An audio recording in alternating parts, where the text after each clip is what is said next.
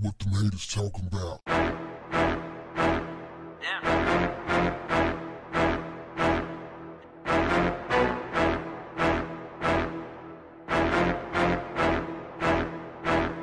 What's up, family? I came across an old interview of Denzel Washington promoting his movie Roman J. Israel Esquire. In the interview, he talked about gang violence, incarceration, street activity.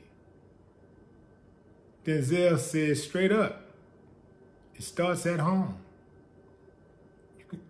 He said, you can talk about not having your daddy there. He said, yeah, but where was his daddy? Oh man, that hit me. That hit me. See, I know some people are going to get mad. Well, you know, man, the system is hard on a brother and this and that. He said, yeah, but we already know all of that.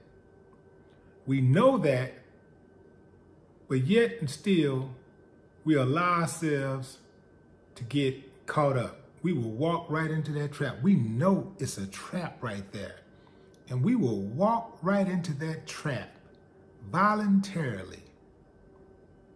Why? You know, oftentimes out of desperation, impatient, arrogance, things of that such. He said that, yes, the system is rigged.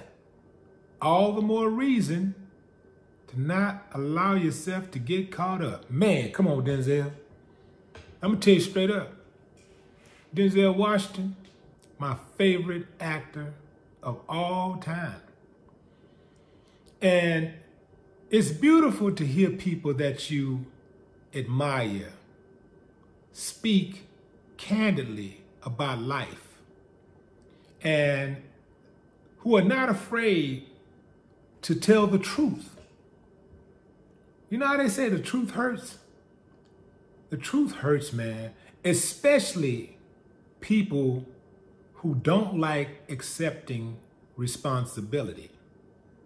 You hit them with some truth, man, it's like kryptonite. How they, ah, the truth, the truth, I'm not, no, no, no.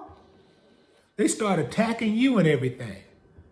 They find every reason in the book to not take responsibility. You see, I came from a broken home myself.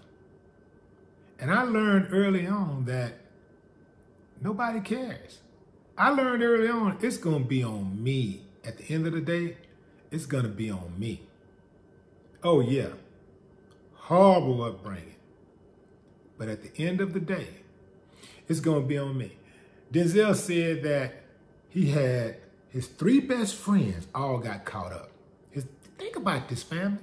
It's four of you, and three out of four gets caught up in the system. He said one of his friends did 15 years, one did 25, another did 28. Out of the four of them, he was the only one who grew up with his father in his life. He said his mother and father were not together, but his father was in his life. Man, that is the, that's it, family. That's the catalyst. Men, hey, man, you got a seed out there, you got a baby out there, man, go get them. Go inject yourself in their life. I don't give a damn what's going on with the mama. I don't care what she got happening. I don't care how long it's been since you talked to your baby. Man, go inject yourself in your child's life.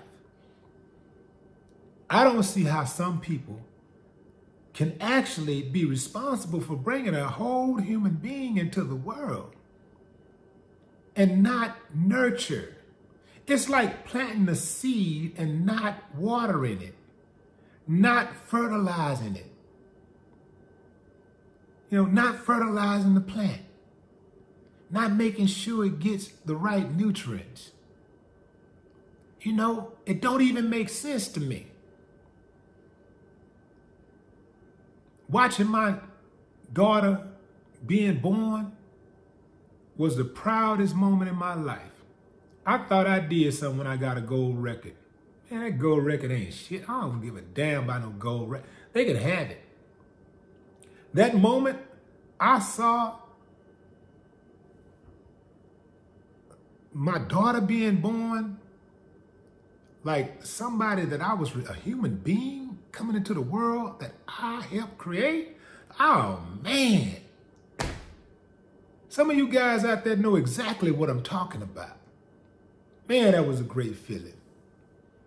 The only feeling that can compare to it was when my son was born. I don't see how some dudes could miss that moment. I understand if there's a situation where you was caught off guard, maybe you was a few countries away or whatever.